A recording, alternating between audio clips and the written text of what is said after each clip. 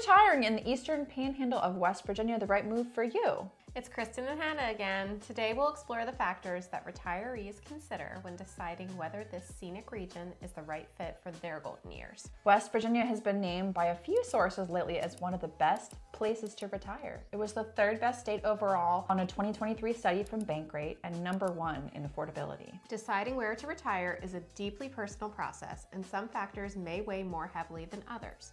Perhaps you're considering West Virginia because you want to be close to family, or maybe you're looking for affordable options that are both near major cities and close to rivers and mountains. From the allure of breathtaking landscapes to the practical considerations of cost and community, we'll delve into the things that matter most. Today, we will outline how the Eastern Panhandle stacks up when it comes to matters like cost of living, taxes, healthcare facilities, climate, housing options, and recreation. Be sure to stick around for the end where we give you our top nine neighborhoods to target if you're looking for main level living in the Eastern Panhandle.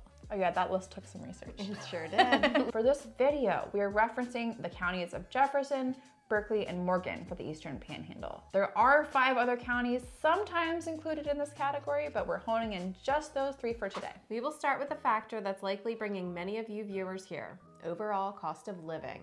According to Living Cost, a source that aggregates data all over the world on cost of living, West Virginia is about 1.4 times less expensive than the average in the United States. It ranks 53rd out of 55 for the category of most expensive US states and territories, so it's across the board one of the most affordable places to live in the United States. Now, parts of the Eastern Panhandle include some of the more expensive parts of the state, but there is a wide range of prices as you head west to east, especially as you get into Morgan County. However, with that lower cost of living comes a slightly slower economy, longer drives to get to activities, and less options overall. Based on their data, living costs rank the best cities to live in in West Virginia as follows Wheeling at number one, Morgantown number two, Charlestown, not Charleston, number three, Huntington, number four, and Charleston at number five. So Charlestown in the Eastern Panhandle makes the top three.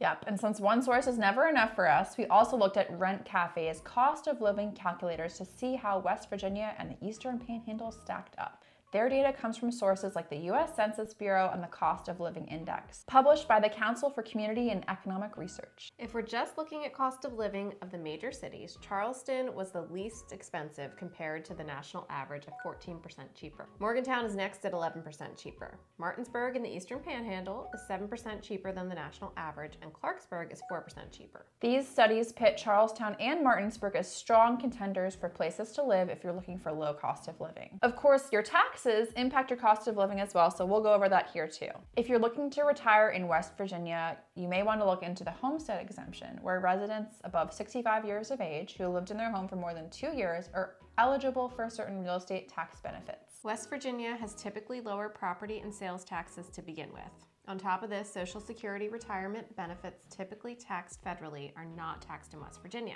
If you're relying on 401k or IRA income, there are deductions, but they're not quite as generous. There are also currently deductions available to taxpayers with government pension income. Whether it's because of lower costs across the board in housing, groceries, and taxes in some cases, the Eastern Panhandle is an attractive option for retirees looking to make their hard earned income last as long as possible. Aside from cost of living, many retirees value quality healthcare facilities when choosing the best place to retire. They want to be sure they have access to healthcare when they need it. The Eastern Panhandle has options when it comes to healthcare, but it's not as robust as a more bustling city.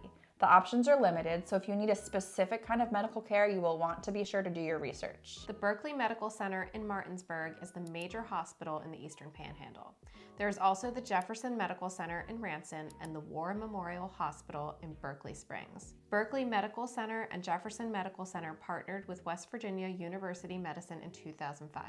Berkeley Medical Center was rated in the top 100 hospitals for gastrointestinal care in 2023. Meanwhile, War Memorial Hospital is run by Valley Health, which has a network of six different hospitals, including nearby Winchester Medical Center, just across the border in Virginia, which can be very close in certain parts of Martinsburg and even Jefferson County. Depending on which part of the Eastern Panhandle you live in, you may be a similar distance drive to both the Winchester Medical Center in Frederick County or even Inova Loudoun in Leesburg. Are you enjoying our breakdown? Now is the perfect time to like our video or subscribe. This really helps us grow and bring you more data-driven videos. As a reminder, we're tech savvy, but we're not relying on AI to give you this breakdown. We're digging into countless resources and double checking the facts whenever possible. You can always reach out to us at our email listed below with any feedback or comment on the video. We love hearing from our viewers. Now, we might be a little biased living in the area, but we think the climate in the Eastern Panhandle is pretty awesome. You get all the seasons here. So there are months when you can curl up by the fire and watch the snow come down, and there are months when you can enjoy plenty of time outdoors gardening or going on hikes. Looking at Jefferson County, temperatures range here between lows in the 20s in January up to highs in the 80s in July. It's one of the warmest places in West Virginia. Berkeley County, the other major county in the eastern panhandle, has similar ranges, and both areas average at about 115 days of precipitation a year. Expect the most pleasant weather here in May, June, and September. So if you're unsure about the hot or cold seasons, best to visit during the other months to test those out. BestPlaces.net provides a comfort index for every location based on climate data. Out of 10, both Berkeley and Jefferson County rank at a 7.3, making them some of the most pleasant places to live overall in West Virginia on this scale. Meanwhile, Morgan County comes in right at 7.2, so it's a close contender as well. In terms of housing options, there is a wide range of price points, styles, and settings in the Eastern Panhandle. You can find a house by the river or on a mountain. There are properties with acreage, as well as smaller homes with more manageable yards. There are homes built when the United States was still just 13 colonies, and there are brand new homes that have yet to be lived in. Single family homes in the Eastern Panhandle are averaging in price between 310,000 up to 350,000. The prices here for single family homes when looking specifically at homes with main level living was an average of 318,000. Jefferson County and Berkeley County are areas experiencing a lot of growth. If you invested in a home in these areas, you might end up with better than average appreciation in your home value over time. As more people move to these areas as well, more businesses and amenities are sometimes coming too. We're going to break down average home prices for single family homes with main level living by county in the Eastern Panhandle. Morgan County single family homes sold in the last year for a median price of 298,000 and in an average of 41 days. For this county and others as well, we are excluding lower price points where the homes needed major rehabilitation as these are typically not habitable. Total home sales in Morgan County were a little more than 150 homes, so much less inventory out there. Yep. Berkeley County single family homes for the last year had a median price of 309,000 and sold a little faster in an average of 25 days. The majority of homes selling in Berkeley County are found in Martinsburg, Inwood, Baker Heights, and Falling Waters. Total home sales here reached nearly 1,000.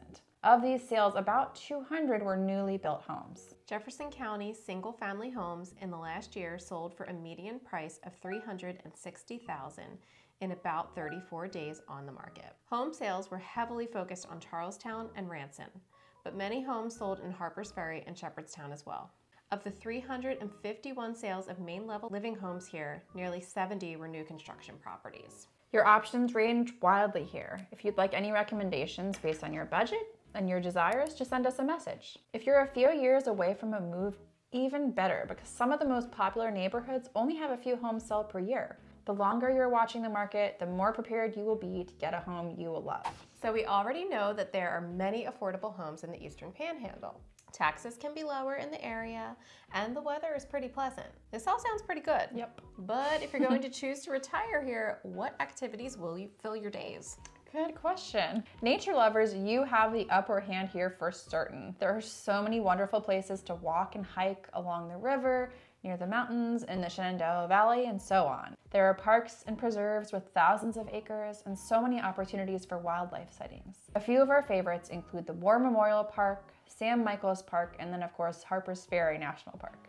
If you love golf, pickleball, or tennis, there are community centers and clubs with many opportunities to meet others and play. Send us a message if you'd like our list of places to play and tournaments. The eastern parts of the Eastern Panhandle are an easy drive or even train ride into DC.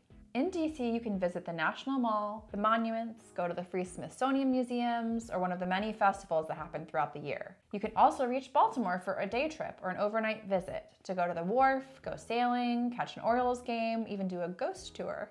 The aquarium is always a popular spot as well, I'd say. It sure is. In the Eastern Panhandle, you may enjoy going to a horse race or visiting the Hollywood Casino in Charlestown, or catching a concert or comedian performance at this venue. Shepherd University hosts the Contemporary American Theater Festival every year and also puts on periodic performances. The Shenandoah University Conservatory puts on over 150 performances a year. Also, Shepherd University has a special lifelong learners program offered to members of the community looking to participate in active discussions and lectures. And there are also a number of great volunteer opportunities throughout the Eastern Panhandle as well that you can find based on your interests and skills. Just one example nearby, the Museum of the Shenandoah Valley has opportunities for gardening, leading tours, and even planning events. If you'd like our guide on what to do in the Eastern Panhandle for retirees, just send us a message. We have a list of all the things we mentioned and more to share. Now we've got our bonus content if you've made it to the end of the episode. Here are our top nine neighborhoods to target if you're looking for Main level living in the Eastern Panhandle. The communities with some age restrictions are Sage Place Commons, Tuscaloosa Hills, Berkeley Gardens, and Morgan Terrace. Communities that aren't age restricted but do have many main level living options include one of my personal favorites, Crest Creek, Locust Hills, Briar Run, Magnolia Springs, and Bon Air Village. If you'd like a home search set up for any of these neighborhoods or to see examples of the homes that have sold here in the last few years, send us a message. Deciding where you want to live for retirement is a complex process. We're grateful you spent some time with us today learning about what the Eastern Panhandle has to offer. Next up, you are ready for the nine best senior living options in West Virginia to learn more about those bonus neighborhoods we just mentioned. Thanks for watching. See you next time.